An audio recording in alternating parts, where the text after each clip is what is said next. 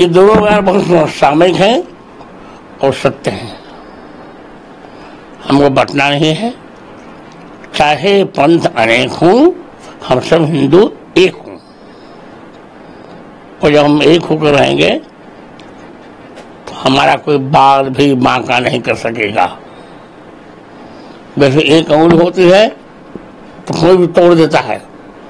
जब पाँच हो जाए मुक्का तो तोड़ने वाले का तोड़ने वाले के दांत टूट जाते हैं। मेरा एक सवाल था कि जम्मू कश्मीर में धारा 370 से जुड़े जो सवाल है उसमें हाल ही में जो एक शंकराचार्य जी है अभी अभिनंदन जी उनका एक बयान आया है। उन्होंने गौ माता का हवाला देते हुए कहा है कि धारा 370 वहाँ पर जो वापस लागू होना चाहिए। उसके पीछे हवाला भी दिया गौ माता की रक्षा का। तो किसके पहले जो कानून था उसको देकर उसको क्या प्रतिक्रिया? शंकराचार्य जी का जो बयान था तीन सौ सत्तर। पहली बात, वे शंकराचार्य ही नहीं है। तो उनका बयान कैसा? उनका शंकराचार्य का पक्ष जो है कोर्ट में विवादित है। दूसरी बात वे भारतीय संविधान का एक अक्षर नहीं जानते। हैं तीन सौ सत्तर धारा अब कभी नहीं आएगी।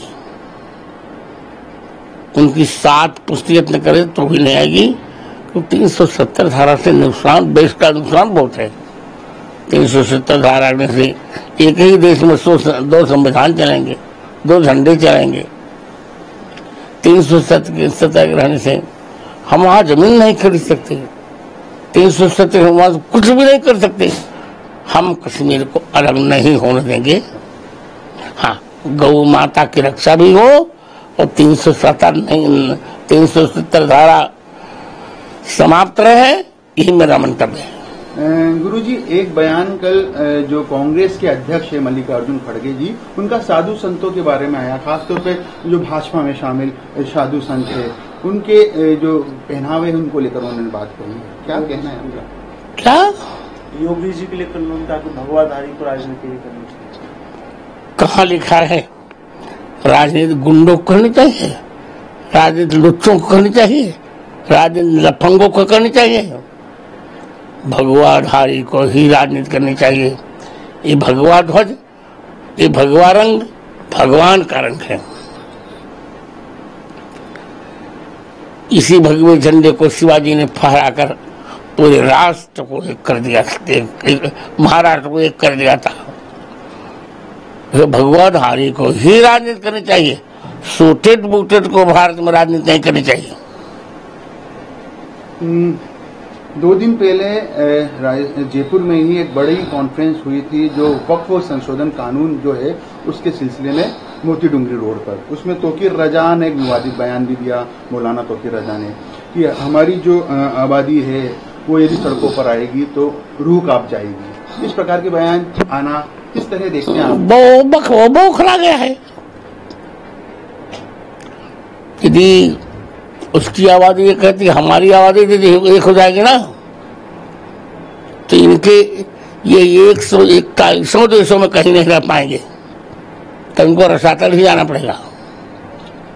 एक सनातन जो बोर्ड है उसकी भी मांग चल रही है। आपका क्या मत है इस बारे में? वो हम लोग अभी कुंभ में मीटिंग करेंगे। बैठक करेंगे फिर निर्णय लेंगे।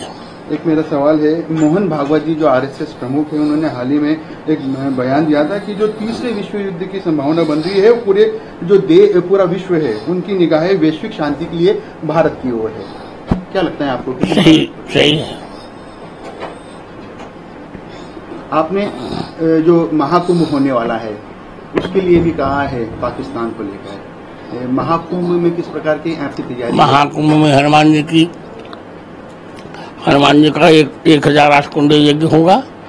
सवा करोड़ आहुतियाँ हनुमान जी की सेवा में अर्पित की जाएँगी। और हमें विश्वास है हनुमान जी कृपा रहेगी तब पाकिस्तान द्वारा हाथी आया हुआ कश्मीर का भाग हमको मिल जाएगा। पाक हमें मिल जाएगा।